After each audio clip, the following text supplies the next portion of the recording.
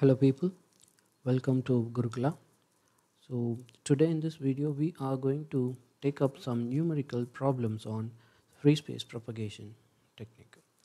So when you consider free space propagation model, there are chances of uh, so getting numerical problems in your exams as well. So today we will see how to solve this particular problem. So today the question what we are going to take up is so if a transmitter produces 50 watts of power which is applied to a unity gain antenna with a 900 megahertz carrier frequency.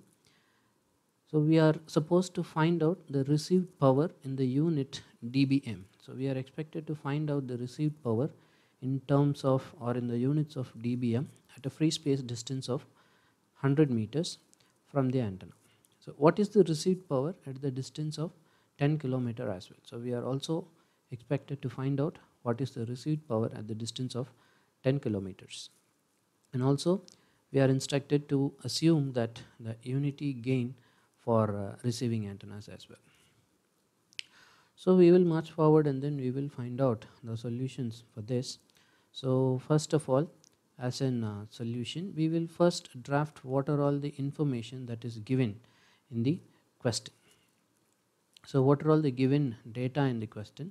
So we can clearly see that the transmitted power taken as PT, so that is given as 50 watts, the transmitter power is 50 watts and then the frequency, we can take it as center frequency or carrier frequency which is operated at 900 megahertz. So that is what given and also it is given that uh, the gain of the transmitting antenna and gain of the receiving antenna is supposed to be 1 that is unity gain is over to be here. And then what is the thing that we have to calculate here? They are asking us to find out what is the received power in terms of dBm at distance is equals to 100 meters. This is the first one which we have to calculate. And then we have to calculate the received power in terms of dBm at the distance of 10 kilometer. So these are all the questions which we have to address over here and now taking up further we very well know the expression for finding out the received power PR as per the Friis equation and it is clearly mentioned that we are going to use that the free space model over here.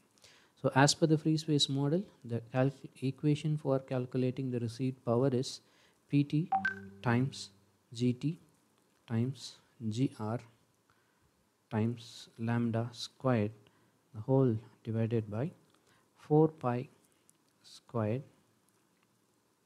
times d squared times L.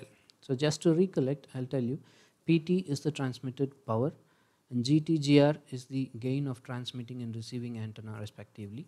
Lambda is the wavelength, 4 pi is a constant, D is the distance and L is the system loss. So remember that L is the system loss here and not the propagation loss. So if there is no information given about the system loss, usually we will consider that L is equals to 1. So other than this, all other informations are given in this particular question. So first of all, so we can calculate the value of lambda over here. So lambda is given by C over F. So where we know the value of C, so C is nothing but 3 into 10 to the power of 8 meters per second divided by frequency. We very well know what is the frequency is. That is 900 megahertz. So 900 into 10 to the power of 6 hertz. So while calculating the wavelength, it is mandatory to represent frequency in terms of hertz and not as uh, megahertz directly. So by solving this, you will get the value of lambda is equals to 0 0.333 something approximated value. So once we know the value of uh, lambda now, we can further proceed to find out the value of PR. We can directly substitute all the values of the variables over here. So these are all the given variables. So we know what is PT, so that is 50 watts times GT is 1 and what is GR that is also 1 and what is lambda just now we calculated that is 0 0.333 whole squared divided by uh, 4 pi squared times d squared. So now we are going to calculate d at a distance of 100 meters. So I will take 100 squared d squared times L. For L I will take this as 1. So when you feed all these values on your calci, uh, you will get a value of 3.5 into 10 to the power of minus 6 watts. And remember all these calculations on your calculator must be done by making sure that your calculator is operating on radians mode, so not on the degree mode.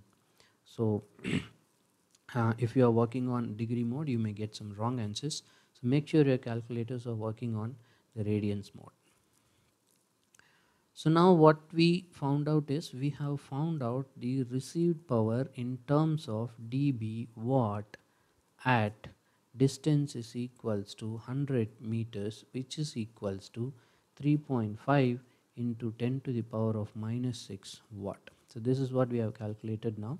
But as per the question, the question is we are expected to find out received power in terms of dBm, not in terms of dBW. So very simple expression or the conversion equation to convert dBW to dBm is so 10 log of received power in the units of milliwatt.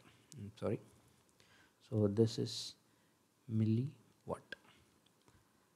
So when I rewrite so I can rewrite the above equation like 10 log of the received power so this is in terms of what? if I convert this into milliwatts I will get 3.5 into 10 to the power of minus 3 milliwatt so that is how I can write. So when you solve this, you will get an exact value of minus 24.55 dBm. So this is the value of received power in terms of dBm at d is equals to 100 meters. So that is the one of the solution which we require. And further you are expected to calculate the value of received power.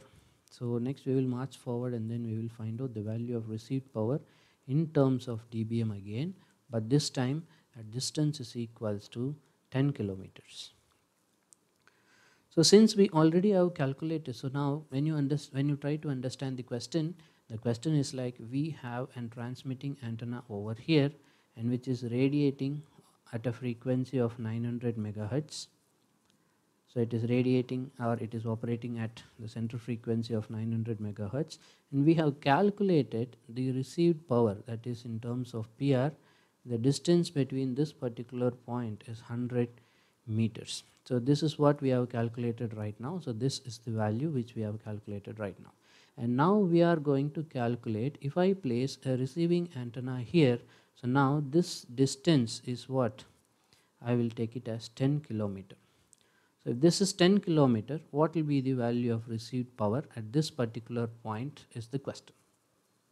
So we now have a partial value of the received power at a particular point distance. So now we can consider this as reference distance d naught. You might have come across a term a close-in distance or a reference distance when we are discussing free space model.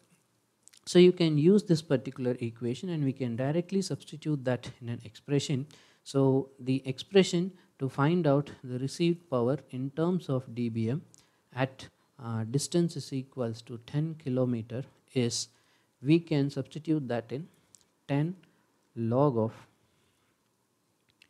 PR of D naught. Received power at the reference point D naught it, but in terms of milliwatt. You have to write this in terms of milliwatt. If this is so confusing I can write it as milliwatt as well. Plus 20 log of d naught divided by where here d naught is our 100 meters which is the reference distance and d is the actual distance between transmitter and receiver separation that is 10 kilometer in our case. So now by replacing the values of all these things we will get the values of so this value we might have already calculated. So this we have calculated. So this value is minus 24 0.55 dBm. So minus 24.55 dBm is what we have. Plus again 20 log of d naught we know the value of d naught that is 100 and then we know the value of uh, d. Now this is 10 kilometers. We cannot take that as 10 kilometers. It has to be represented in terms of meters. So 10 kilometers is equivalent to 10,000 meters. So when you feed all these values on your calculator you should get the value of uh, minus 24.55 dBm plus for this you should get a value of 40 I'm sorry that is not plus. You should get minus 40 so by solving this the value is minus 64.5 dBm so this is the expected value which you are wanted to uh, identify so this is the received power value in terms of dBm at distance is equals to 10 kilometer. So this is the second solution which you are expected to find out. And there is an alternate way to calculate this power if you are not very much comfortable in remembering or to recollect this particular expression you can always go for the straight method as well. So what I will do is I will just solve this particular part alone in a very straightforward approach. So this is an alternate approach.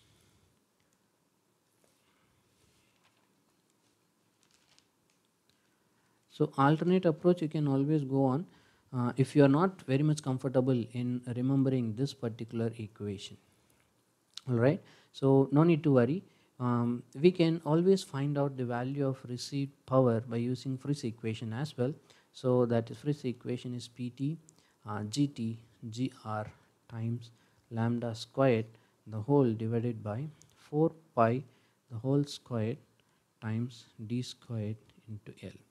So now we very well know the values of all the uh, variables here. So PT is 50 and then times 1 and GR is also 1 times lambda squared. So in our case it is 0.333 the whole squared over 4 pi the whole squared times. Now instead of uh, d we can uh, instead of 100 meters you can directly substitute 10,000 meters here. 10,000 meters is nothing but it is 10 kilometers into the loss factor system loss factor since there is no information given about the system loss we will take that as 1 as such so when you calculate this you will get received power in terms of dBW remember you will get the value in terms of dBW. So that is 3.518 into 10 to the power of minus 10 dBW in terms of watts you will get. So you can rewrite this as so 3.518 into 10 to the power of minus 7 in milliwatts. So now you very well know the expression for converting this particular value into dBm. So we need received power in terms of dBm. So the value is 10 log of received power in terms of milliwatts. This is what you wanted to write. So received power in terms of milliwatt is what you are expected to write here. So 10 log of 3.518 into 10 to the power of minus 7 milliwatt. So when you calculate this you will similarly end up with the value of minus 64.5 dBm. So you can observe that whatever the method that you follow even you go for a straightforward approach like this or you can use a direct expression like this or you can use this particular expression also in both the cases you can observe that the answer is similar even here you got minus 64.5 dBm and even here you end up with minus 64.5 dBm. So that's the solution of uh, the question whatever we have been asked to sort out. So you can i hope that this problem will be clear for you people. So we will solve much more problems on the upcoming videos. Until then happy learning. Thank you